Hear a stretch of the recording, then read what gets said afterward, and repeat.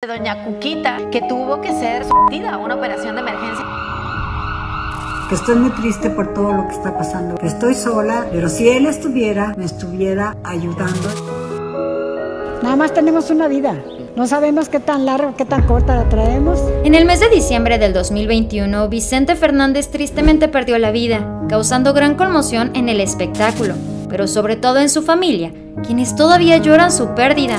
Ante esto, Alejandro Fernández fue quien se sinceró y dio una triste revelación acerca de su madre, Doña Cuquita. Se siente triste, no va a ser nunca lo mismo después de la partida de mi padre. La dinastía Fernández se ha mantenido muy cerca con el público y la prensa tras la pérdida de Vicente Fernández, realizando varios homenajes y abriendo las puertas de su rancho. Alejandro Fernández, hijo de Don Chente, es quien guardó silencio sobre la dura pérdida que vivió.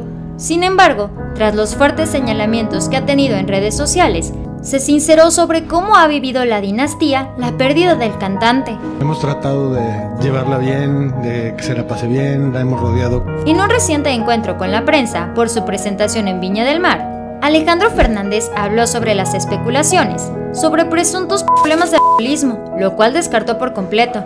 Sin embargo, admitió que ha vivido momentos complicados tras la pérdida de su padre. El cantante reveló que al paso de los meses, la ausencia de Vicente Fernández cada vez ha sido más difícil, sobre todo para su madre.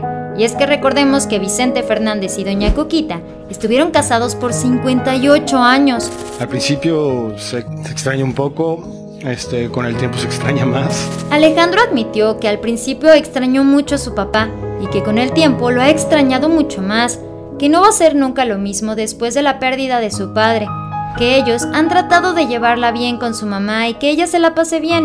Es difícil, ¿no? Pues saber que antes contabas con una persona que tenía toda la experiencia. El 12 de diciembre del 2021 se confirmó la pérdida de Vicente Fernández, quien fue considerado el máximo exponente de la música ranchera en México, perdiendo la vida a los 81 años de edad.